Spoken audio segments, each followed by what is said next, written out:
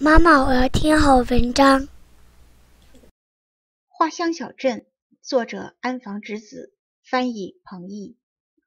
又是那样的自行车，心想，真的，最近这段时间总是看到那样的自行车，把手、脚蹬子、后架子，甚至连车铃都是偏黄的橘黄色。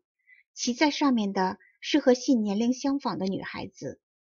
这些骑橘黄色自行车的女孩子。一个个全都眼睛发光，吹着口哨，头发在风中轻轻的飘荡，是一群非常可爱的女孩子。信都忍不住想跟在后面追起来了，可是信对班上的同学说了，同学却一脸的惊讶：“橘黄色的自行车，我怎么一次都没有见到过呀？”对妈妈说了，妈妈也说：“是吗？我没有看到啊。”可是信还是要想。会不会是最近这段时间突然开始流行起橘黄色的自行车来了？会不会是女孩子之间非常流行骑橘黄色的自行车去郊游了？信头一次看到橘黄色的自行车是在秋天开始的日子，是的，就是大约两个星期之前。那是一个天特别蓝、特别高，刮着干爽的风，而且四下里还充溢着一种让人想大哭一场的甜甜的花香的黄昏。啊，这是什么花的香味呢？信一边走一边想，信还清楚的记得，那是一种让胸膛暖暖的、有点发痒的香味儿。一旦吸满了胸膛，说不出什么地方就会一阵阵的痛楚，然后藏在身体的什么地方的某一件乐器，突然的就啜泣一般的奏响了。从很小很小的时候起就是这样，到了秋天，一闻到这种香味儿。心底就会涌起一种小提琴一样的感受。信想起来了，当他还是一个婴儿的时候，就已经知道这种香味了。你好，这时嗖的一声，一辆自行车从信的左侧超了过去，是一辆橘黄色的自行车，骑在车上的是一个头发长长的女孩子。信一愣，呆呆的站住了。那是谁呢？哦，是谁呢？信还是没有想出来是谁。橘黄色的自行车已经笔直的向着太阳落山的地方飞驰而去了，变小了，消失了。身边剩下来的只是花的香味儿和女孩子吹的口哨声。打那以后，信一次又一次的看到了橘黄色的自行车，有时候一天会看到两三辆，而且骑在橘黄色自行车上面的必定是一个女孩子。当他们超过信的时候，就会招呼一声“你好”，于是信的心顿时就充满了那种花的香味儿。信真恨不得丢下书包，丢下手提袋，去追那些自行车了。橘黄色的自行车一天比一天多了起来。十天过去了，信在街角的油桶前面看到了三辆那样的自行车，在派出所前面、校门口一带也都看见了。还看到一个女孩子把自行车停在了鞋店橱窗的前面，一只脚踏在地上，专心致志地朝玻璃窗里眺望着。还看到一个女孩子慌慌张张地从电话亭里冲了出来，跳上了自行车。不管是哪一辆自行车，都对红绿灯视而不见，向着一个方向飞驰而去。我好想要那家店里的红鞋子啊！我想吃葡萄蛋糕。我想给风打一个电话，可我没有十元钱的硬币啊！信像是听到了少女们的喃喃细语声。这天黄昏，信被打发骑自行车去买东西。当听到长头发的女孩子们冲他喊“你好”，并且超过了他时，他想：今天我一定要跟踪你们。等等，去哪里呀？信拼命地骑起自行车来。喂，你们去哪里呀？可是女孩子们连头也不回。他们那薄薄的羽毛一样的裙子在风中摆动着，渐渐的远去了。等反应过来，又有一辆橘黄色的自行车从信边上超了过去。女孩子“嘶”的一声吹起了口哨，信用力的蹬起脚蹬子来。今天我一定要查个水落石出。在交叉路口，又有一辆橘黄色的自行车从边上轻盈的闪了出来，和信排到了一起。走了没多久。从小巷里又闪出一辆，又闪出一辆，信眼花缭乱了。今天这是怎么了？一次涌出这么多的自行车来？是的，当信缓过神来的时候，他已经被一大群橘黄色的自行车包围住了。橘黄色的车座，黄色的把手，黄色的后架子，就连轮胎和链条都是橘黄色的。这些无论什么地方都是橘黄色的自行车，简直就像一大群红蜻蜓，向着一个相同的方向流去。信猛地颤抖了一下。也就是在这个时候。信的心中突然充满了那种悲喜交集的小提琴的啜泣声，信不由自主地闭上了眼睛。这时，他身边的一个女孩子对他耳语道：“和我们一起去吗？”信睁开眼睛，看着女孩子的脸，嗯了一声，点了点头。女孩子胖乎乎的，白白的，像是不知在什么时候、什么地方见到过的偶人。但是，一旦信的目光从他脸上移开，立刻就想不起来他长得是一张什么样的脸了。信又一次把脸转过去，可方才那个女孩子早就跑到信的前面去了。后面的女孩子又和信排到了一起。她从侧面看上去也是胖乎乎、白白的，像个偶人一样。一张优美的脸上，仿佛隐隐约约地飘出一股香味儿。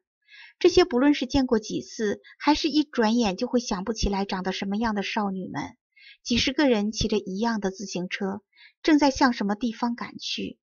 这会儿，信已经跟入到了他们的正当中。信突然害怕起来，这么一大群人去去什么地方啊？尽管强装镇静，信还是结结巴巴地问了一句。后面的一个女孩子回答他道：“从这个坡往下，一直往下。”能下多远下多远，要一直下到下不去的地方。下到了下不去的地方，那那干什么呢？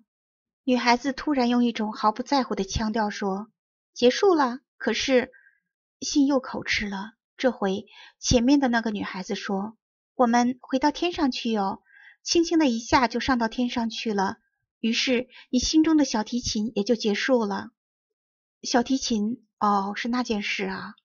信微微点了一下头，于是信身边的女孩子们一起点了点头，说道：“是的，不论是谁，每一个人心中都有一把小提琴。今天是那把小提琴奏响的最后的日子了。”哦，信接连的点了好几下头，随后信开始一心一意的踏起脚蹬子来，踏着踏着，若干这样的秋天的回忆就浮上了心头。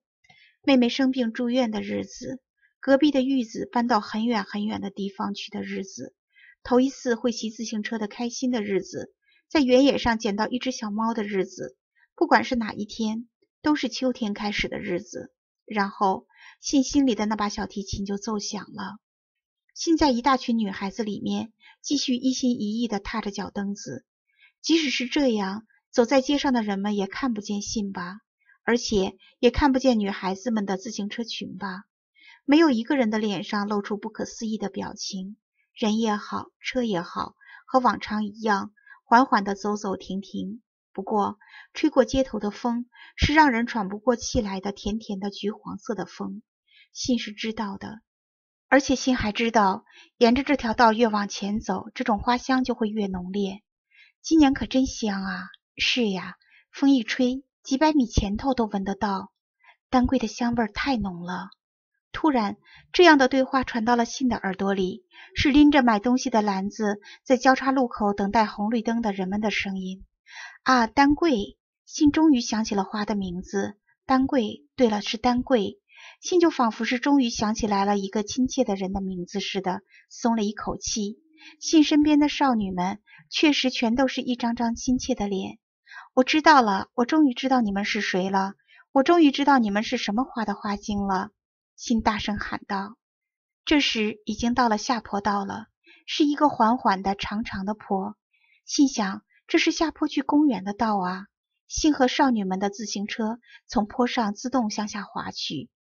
叮铃铃，一个少女按响了车铃，于是一个接着一个，其他的少女们也都按响了车铃。道上车铃声响成了一片，信也不甘示弱的按响了车铃，大声叫喊起来。丹桂，丹桂，随风去哪里？于是少女们异口同声地唱了起来。远远的天的尽头，比月亮，比星星还要高。这时坡道突然变陡了，新的自行车刹车失灵了。哇，危险！新大声叫道。少女们的自行车也全都全速朝下坡冲去，头发被风吹得飘了起来，透明的衣裳忽的一下子鼓开来了。可是少女们好像还在吹口哨，眼睛好像还在隐约的笑，而且脸蛋儿好像也兴奋成了玫瑰色。危险！危险！